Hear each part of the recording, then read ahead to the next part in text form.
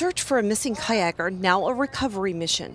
I feel so sad for those guys, young men. The Ohio Department of Natural Resources joined Task Force One and Hamilton firefighters on the Great Miami today. They used sonar equipment and brought in a cadaver dog, hoping to locate the body of 29 year old Benjamin Gibson. They did a side scan of river left and river right all the way from the dam all the way up to the incident site to see if he might have surfaced overnight. That search was negative. Search crews say Gibson and his friend, 35 year old Wilbur Strobel, put borrowed kayaks in the river yesterday afternoon, just north of the High Street Bridge. And the two gentlemen were paddling downstream, and when they approached the High Main Bridge, one of them capsized. So the other one went over to help him, and at that time he capsized also. They were not wearing life jackets.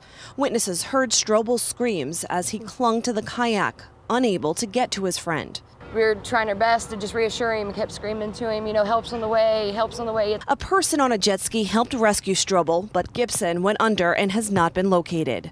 Today, members of his family walked the banks looking for his body. Onlookers watched the river rescue team at work. Some expressed concern over the number of people they see in the river without life jackets. Maybe they just didn't know. You know, they just thought it was going to be a great exercise, but you should have some sort of life preserver on.